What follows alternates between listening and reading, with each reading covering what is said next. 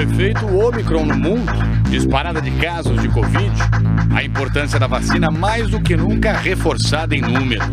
Segunda quinzena de janeiro, as vacinas elas começam a chegar. Vacinação de crianças. O Brasil atrasado e com novas promessas. Cada semana perdida, cada demora na contratação dessas doses, é atraso maior ainda no começo, no início dessa vacinação.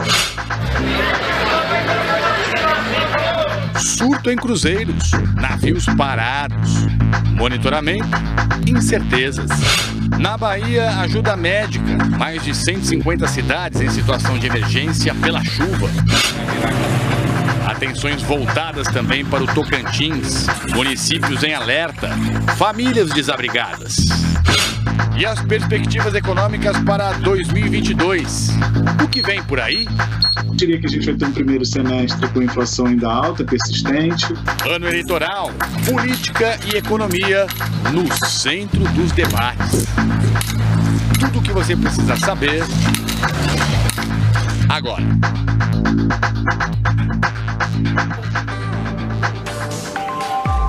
Pelo horário de Brasília, muito bem-vindo, muito bem-vinda. Eu sou o César Tralha, é uma honra, um prazer ter a sua companhia. Estamos juntos a partir de agora aqui na edição das seis. Um excelente começo de 2022 para você, muita energia boa, muita saúde acima de tudo, muita fé, né, muita força e a gente está sempre juntos aqui, tá bom?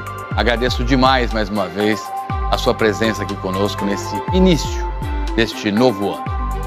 Temporada de cruzeiros suspensa, hein? Depois de um surto de casos de Covid em navios na costa aqui do nosso país, as companhias de cruzeiros decidiram suspender, paralisar as operações no Brasil até o dia 21 de janeiro.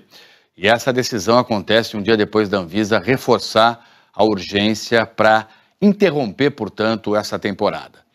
Vamos direto para o nosso telão. Nós temos esse timaço de repórteres aqui ao vivo já com a gente. Em Brasília, a Carla Lucena, o Guilherme Baus aqui em São Paulo e o Léo Ramawaki, direto do Rio de Janeiro.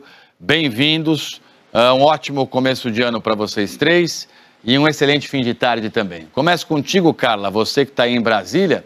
Quais são os detalhes dessa decisão das empresas? Estava vendo mais cedo o ministro da Saúde sendo questionado sobre isso ao vivo ele parece até que ficou surpreso, nem sabia que as companhias estavam suspendendo, portanto, os cruzeiros em decorrência dessa questão da Covid-19. E agora, como é que vai ficar a situação, Carla?